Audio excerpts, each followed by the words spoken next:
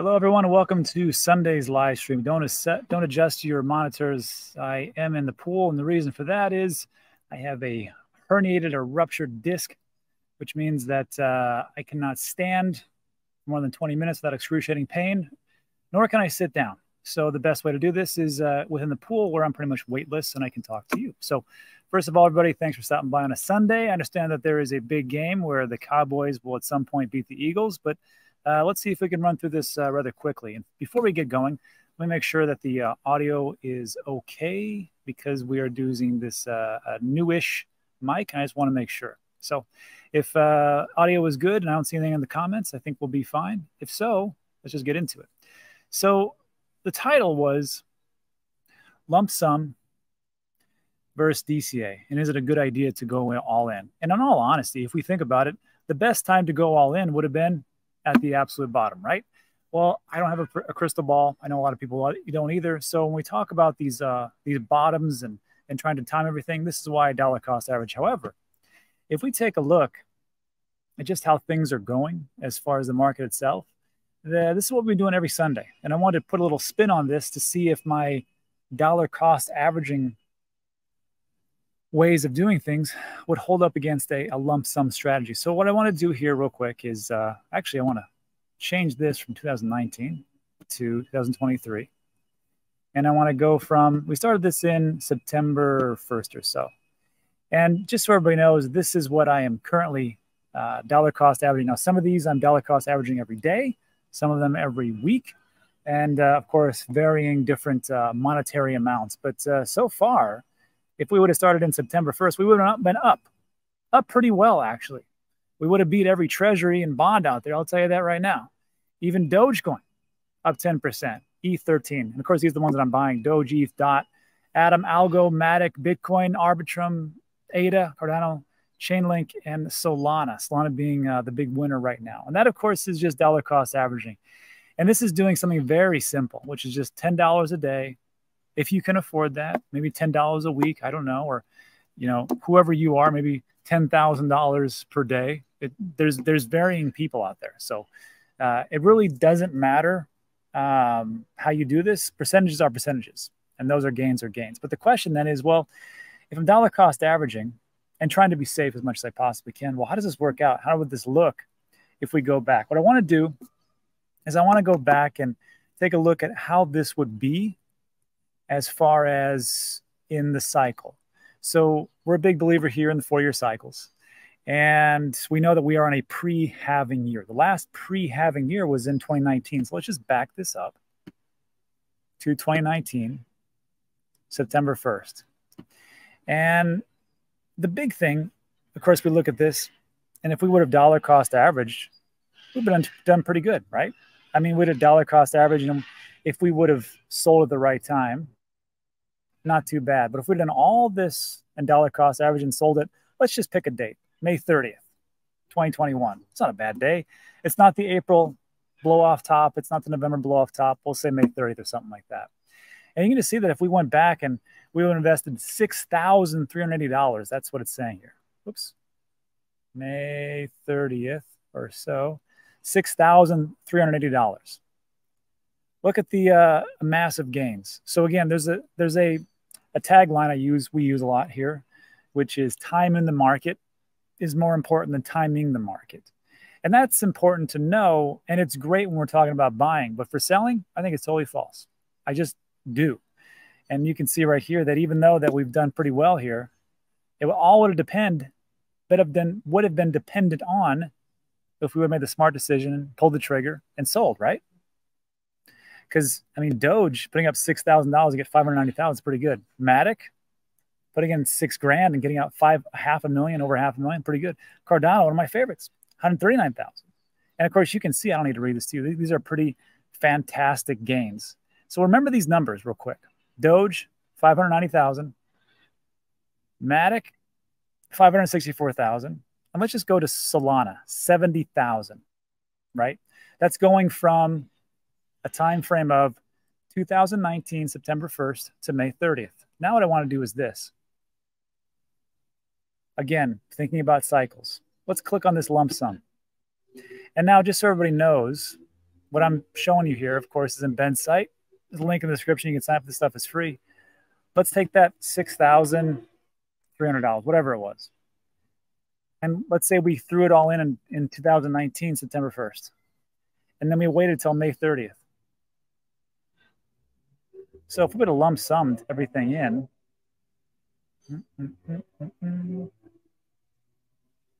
come on. We'd have been far ahead. Matic, almost a million. Doge, three quarters of a million. ADA went from 170 to 223. Solana would have doubled.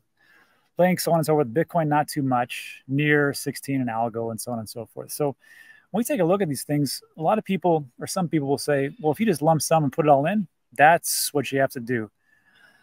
It's a risky play, but maybe if you think about it like this, as we move forward, what would be a good time? Well, this is September. Let's just do this actually. Let's take it today's date. Let's take November November 5th, 2019. Exactly. Is it the 5th? 5th or the 6th, right? Yeah, the 5th. And we threw in $6,300 and we went to May 30th. Burr, burr, burr,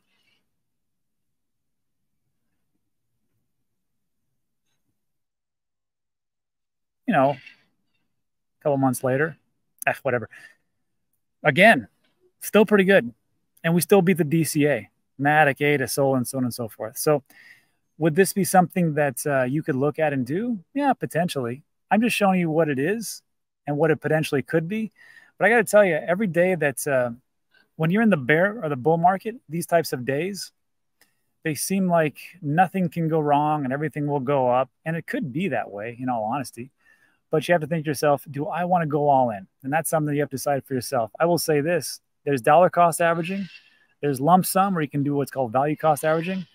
I think that at some point, maybe it might not be a bad idea for me to put a big chunk down, but that's for me to do. I can't tell you to do. I'm not a financial advisor. Anyhow, let me know what you think about that in the comments section. And again, this time in the market is more important than timing the market this all works out and it's predicated on the fact that we sell at the right point. Because even if we lump sum $6,300 into Bitcoin, all these different ones, all the way back in 2019, instead of having this much left over, you know, we have right now today, we're still up, but it's roughly 40%, 30% of what the original, and actually in some, we're actually in the negative. So we can hold all this time, but for me, that's not a good option anyhow, let me just think about that in the comments. And then also, I want to run the, this by everybody as preparation. Because if we look at it like this, we're talking about ETFs. What if it isn't approved? And I got to tell you, uh, it's something that I've been thinking about for quite some time. Do I think it, it matters? Well, we'll get to that in a second. But this was from a couple of different people around that are in the in the trenches dealing with crypto and digital assets and institutional investors and things like that, what what they think could actually happen. So let's just say the Bitcoin spot ETF is not approved. Here's what we got. So this is from uh, Laurent Kssis. She's a, tra- a, trading advisor at CEC Capital.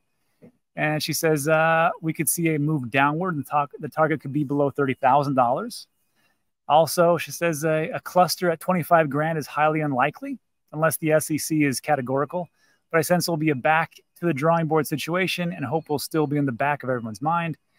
If the ETF doesn't get approved, I anticipate it'll be a significant letdown, says Martin Leinweber, product strategist for market vector indexes.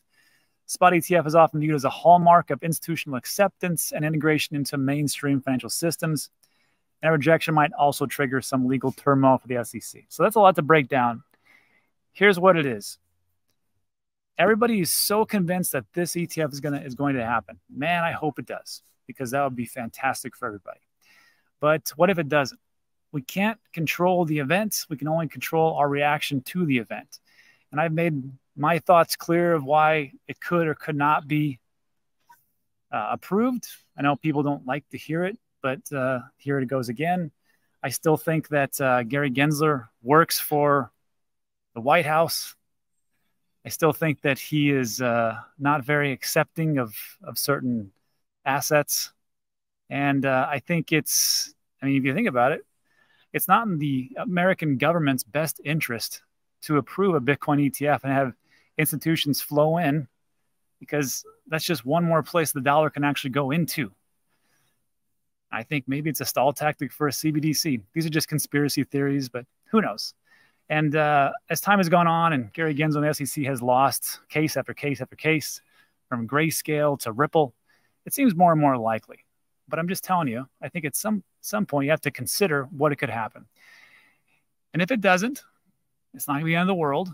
I just like this last, this second to last phrase from Martin. He says the spot ETF is often viewed as a hallmark of institutional acceptance and integration into mainstream financial systems. I think he's he's right if he would have said the ETF is viewed as a hallmark of institutional acceptance. It's actually viewed as a as acceptance in the financial system if the SEC approves it. As far as institutional acceptance, can you get any bigger than Fidelity and BlackRock and ARK and Van Eck and everybody else that's that's involved with it? I don't think you really can. I think institutional acceptance is already here. So the only thing that I think is positive for the ETF is, of course, this will bring in. Some people say this will bring in massive amounts of money. Some people think it's uh, it may not be the tidal wave that everybody's expecting. I think it could be a huge tidal wave if it does get actually approved. But the thing that you have to remember is with these or with this ETF, as it comes in, things just might not go according to plan. And you might have a little bit of issues and bumps along the way. But the big thing, I think, again, is that the public perception has changed because right now, besides us, the people who are here right now, and don't let anybody tell you that you're not, you're super early to this, this space. There's still a large percentage of the population globally that take a look at crypto and they see it, they see crypto as FTX. They see crypto as Celsius. They see crypto as Voyager. They see crypto as BlockFi. They see crypto as just Ponzi schemes and charlatans and scams running amok, which let's be honest, uh, it's not like we are squeaky clean in this in this category. But if we have the SEC give the approval, that means the average Joe and Jane can say, "Yep, I think this is actually pretty good." So I think it'll be whether it gets approved or not. It doesn't really matter in the long run.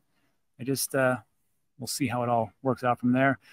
I don't care if it gets approved or not. I think that uh, the next bull run will be massive. Anyhow, what you think about that in the comments? And just to finish up a little little PSA is uh, if you own a uh, near wallet, and this is wallet.near.org, just so everybody knows. Uh, as of January 21st or January 1st, 2024, the Near wallet will be discontinued.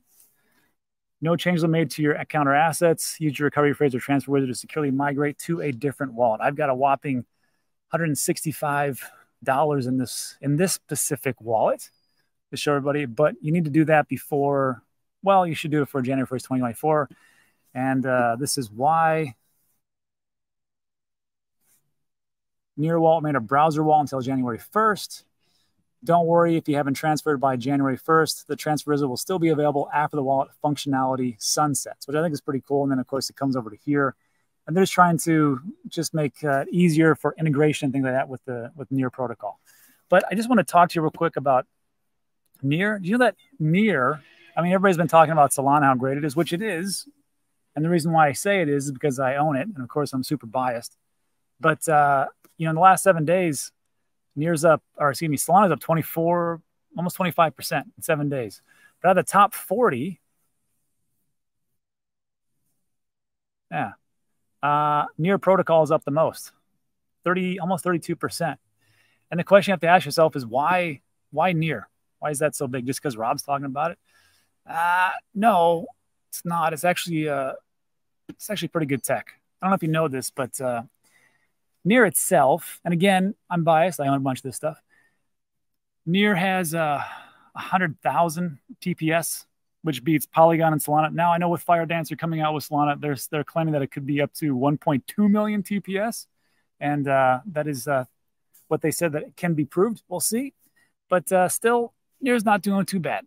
as a composed as opposed to like uh, Arbitrum, 40,000, pretty good. BNB 10, Cosmos 6, Tron 2000, and Cardano 250. Hopefully they get uh, something else moving out there. And this was updated February 21st, 2023. So sound off in the comment section for your favorite crypto because I definitely will get that, which is Rob, you don't understand because XYZ does this much TPS and da da da. da. Like, okay, great. But again, TPS isn't the whole story. What you really want to take a look at is, first of all, TVL. And we talk about this many times. There's a link in the description for DeFi Llama. It's a 100% free website. You can check it out. But I like Near. It's got great tech. It does sharding right now, which is what Ethereum is, is, is aspiring to be. And they've already been doing it for over a year. Very fast, very cheap. But you can see as far as TVL, it doesn't even exist. I mean, here's the big piece of the pie. You got Ethereum at 53, and we went over this yesterday, so I'm not going to do it. But to take a look at, I think it's like 37. Yeah. Near as far as TVL is all the way behind Moonbeam, Ronin, Tezos, Algorand, Aptos, Fantom. You can see that. It's got 53 million locked up as far as TVL and 72.19 as far as stables. Not too great, to be honest with you. But we take a look at who's, you know, as far as like top dApps, there's a website, dappradar.com. And we take a look at DApp Radar, and you can see as far as like unique active wallets and balance, if you take a look at those, the two top dApps are Kaiching and Sweat Economy, which I also talk a lot about as far as Sweat, not Kaiching. And they're both built on Near. So there's a lot of activity, and it's actually beat out as far as like Pancake Swap V3, uh, Galaxy, I don't know which one that was, Pancake Swap V2 and their DEX, Splinterlands, a game, and so on and so forth. But you can see it as far as like the balance that's locked up in there. I mean, Sweat Economy is 153 million, Pancake Swap 280 million. Unique active wallet users, Kaiching is 680,000, Sweat Economy 140,000, Pancake 70, Alien Worlds being on BNB channel 30. So you can see that's actually being used. And that's that's the big thing. That's really what I care about. But the thing that you have to I always take a look at is the fees. Because I always talk about, you know, if you're gonna vote, it's not just about TPS, it's about are you voting with your pocketbook? And if we take a look here for crypto fees, you will notice that near isn't even in the top 20. I have to click on this. There it is. Near protocol is just right after hot protocol. So over seven days, you know, Ethereum over seven days make, geez Louise, they make 5 million, 109,000 in fees. Well, no wonders because they're super expensive. Bitcoin makes a ton, Uniswap right behind it. And then there's BNB. And Near Protocol makes a measly 3,000. And you can just see over here as far as more details. So I know some people are screaming at the at the screen right now and saying, but you don't understand because of course they make more money because they're more expensive and we want things to be super cheap, like Solana, which is like a fraction of a penny. I agree. But you really want to take a look at as far as like as far as adoption, like I did this yesterday. I'll do it again today. Just back up. Take a look from here and see how are things going. Well, not that great, honestly. Near protocol in 2022 kind of topped out. They were making 76,000. And then over here, look at this 4,000, 2,000, 2,500. Not too many people. And just only recently has it reached up to like in the threes. So it's going in the right direction, but it's not like it's a ton. But the question then is, well, how much does it cost? And you can take a look at nearblocks.io. That's uh, kind of like Etherscan, but of course for near. And you can see that the actual transaction fees, they're like fractions of a penny. So no wonder they don't make anything because it's super cheap and super fast. Again, 100,000 TPS. Let me just blow this up here. Transaction fee is, well, again, fractions of a penny. I think that's what people want. Correct me if I'm wrong. If you're a developer or not a developer, if you're a business or if you're a consumer, what do you want? You want fast, you want it cheap, and you want it easy. And I think that's the new narrative. That should be the new narrative of the next bull run, but we'll see. Anyhow, that's it for today. So if you like today's video, give it a thumbs up. Consider subscribing. Everything we talk about is time sensitive. You got to take off, go watch that uh, Eagles game. Good luck.